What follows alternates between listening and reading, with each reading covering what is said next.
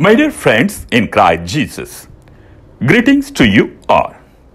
In this episode, I answer to the question Who can be admitted to an institute of consecrated life?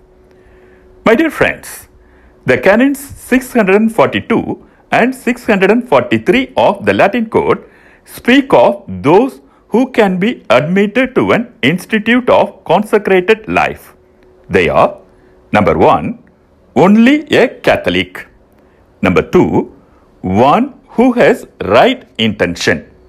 Number three, one who possesses the qualities required by universal law and the proper law of the institute. Number four, one who does not have the impediments as per universal law and the proper law of the institute.